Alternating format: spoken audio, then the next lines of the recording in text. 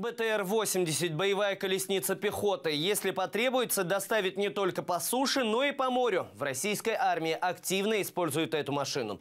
Сейчас трудно вспомнить хотя бы один военный конфликт, где бы не участвовал БТР. 13-тонная машина развивает скорость до 80 км в час. Спаренная пушка калибра 14,5 может поражать как наземные, бронированные, так и воздушные цели. В купе с пулеметом Калашникова машина стала настоящим кошмаром для врага.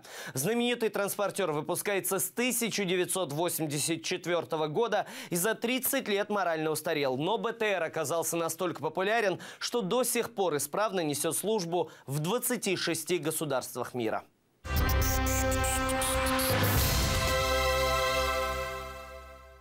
Такси для пехоты так называют бронетранспортер военные. В сухопутных войсках БТР доставляют солдат к полю боя. В морской пехоте переправляют с десантного корабля на берег. А в случае чего могут поддержать бойцов огнем. В России, да и во всем мире самым распространенным боевым такси служит БТР-80. Но за 30 лет службы, как было сказано выше, эта рабочая лошадь войны успела морально устареть. Поэтому БТР постоянно модернизируют. Как изменилась боевая машина, расскажет Мария Семенова.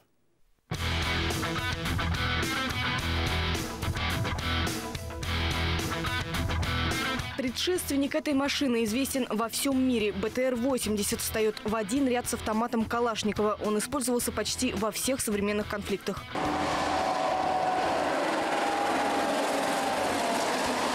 БТР-82А полностью перенял характер отца. Быстрый, проходимый и неприхотливый, но стал тяжелее и зубастее. Если предыдущие бронетранспортеры могли похвастаться только тяжелым пулеметом калибром 14,5 мм, то 82-й несет на себе уже 30-миллиметровую пушку, от которой не всегда спасает даже мощная броня.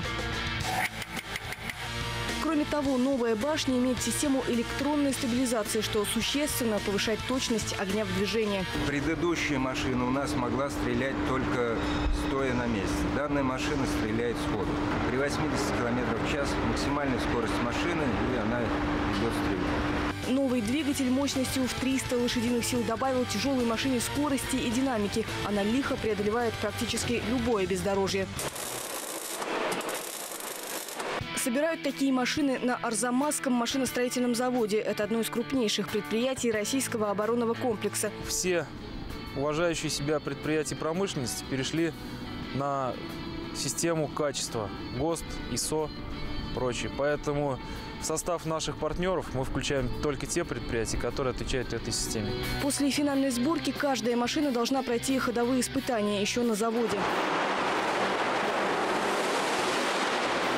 Одно из главных требований к бронетранспортеру – умение плавать. Это не так-то просто, если вес машины более 15 тонн. Однако БТР-82, видимо, не знает, что железо тяжелее воды. Он способен плавать со скоростью не меньше 9 км в час.